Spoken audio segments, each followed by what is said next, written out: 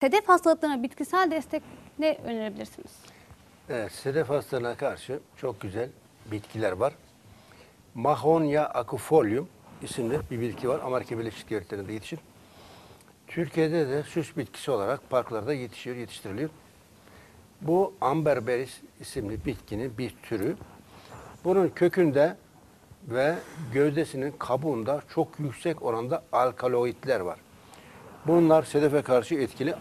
Almanya'da Profesör Doktor ve Profesör Wiesenau klinik araştırmalar yapmışlar ve sedef hastalarını tedavi etmişler.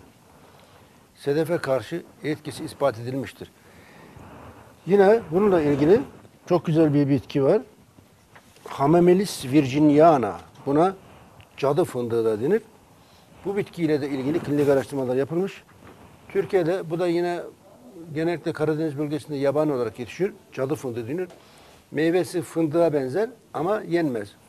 Bunun e, dalının kabuğu ve yapraklarından çay yapılır hafif rahatsızlarda fakat sedef gibi ağır bir rahatsızda çayı yeterli değil. Destilasyonla damıtılarak elde edilen ekstraktını kullanılması gerekir. Bu bitkiyle ilgili birçok klinik araştırması yapılmıştır. Bunlardan bazıları mesela Steinhardt, Profesör Doktor Steinhardt ve ekibi 1982 yılında yapmış olduğu klinik araştırmasında hemoroidi olan, ya hemoroide karşı da etkili. Hastayı tedavi etmiş.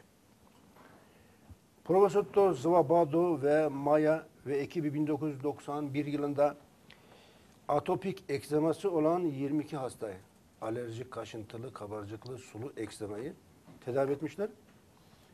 Profesör Doktor More, James ve ekibi 1989 yılında Hamamelis iyileşmeyen yaraları iyileştirmiştir. Klinik araştırmaları yapmışlar. Yine Profesör Doktor Doksin ve ekibi 30 hasta üzerinde çocuklarda, bebeklerde gözüken pişik rahatsızlığını tedavi etmişlerdir. Poposunda ve genital bölgede oluşan bu rahatsızlığı tedavi etmişler. Birçok klinik araştırma var cadı fındığıyla ilgili.